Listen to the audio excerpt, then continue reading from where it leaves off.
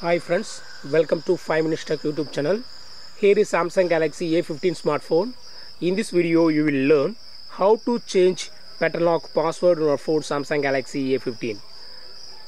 First I put lock screen okay and I have here set my pattern like this. If you would like to change your current pattern yes you can do it. What you have to do is go to the settings of your phone here. Then go to lock screen go to lock screen and here select screen lock type and draw the current password for confirmation.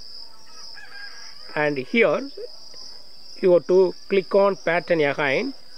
And now you have to draw the new pattern. Here I would like to draw this pattern and click on continue again draw the same pattern to verify and click on confirm.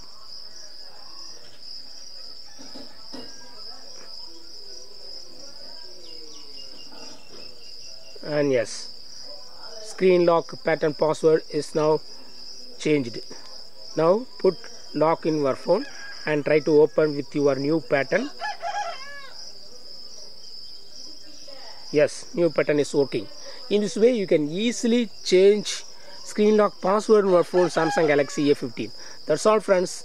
Thanks for watching. Bye